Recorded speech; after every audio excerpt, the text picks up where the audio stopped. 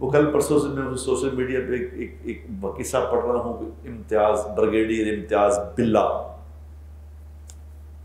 Brigadier امتیاز بلا۔ کہ کبھی کبھی بریگیڈیئر صاحب کے توتی بولتے تھے، اوہ، کیا اس کے ششکے تھے، کیا اس کی باتیں تھیں۔ ایڈیشنل چیف سیکٹری بھی رہا۔ حکومتوں میں، بنانے میں، گرانے میں بڑا ہاتھ تھا۔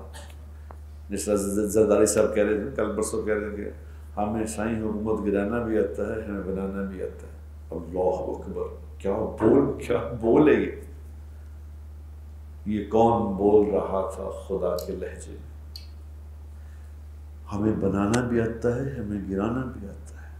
یہ جب آدمی کے پاس طاقت آئی تھی نا، پھر وہ کہتا ہے میں کر سکتا ہوں، بس کچھ نہیں، باقی کون ہے؟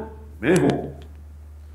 وہ فرعون، دیکھو نا، فرعون جیسا آدمی جس نے یہ کہہ دیا تھا کہ آنا ربکم العلا حالانکہ بندہ اس سے پوچھے، فرعون صاحب، یار تم پیدا ہوئے ہو، تم باتھ روم جاتے ہو، تم کھانا کھاتے ہو تم بیماری، تکلیف، پیٹ میں درد۔ تم کہتے میں رب ہوں۔ کیا تیری مت ماری؟ یعنی یہ اقتدار، طاقت کیا چیز ہوتی ہے؟ بریگیڈیئر صاحب جو ہیں، اب کبھی ان کے اتنا مال اس نے بنایا، اتنا مال بنایا، اتنا مال جس کی کوئی حد نہیں۔ اور کل سوشل میڈیا پہ ایک تصویر آئی کہ اس کو پولیس پکڑنے آئی ہے کہ یہ گھر جس میں آپ رہتے ہیں، کرائے کا پانچ سات پر لے کر دس منٹ گھر، آپ نکلے یہاں سے۔ بیٹا کہہ رہا ہے کہ اس کو نکال دو۔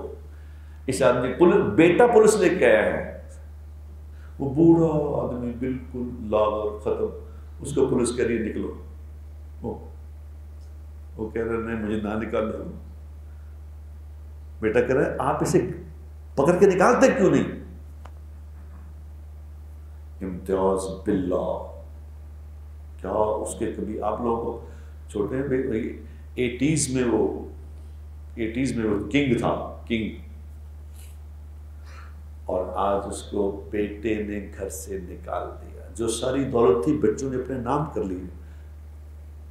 بچوں کے لیے، بچوں کے لیے کما رہا ہوں۔ بچوں کی روزی، میرے بچوں کی روزی۔ بچوں کے لیے جائز نجائز کری جا رہی۔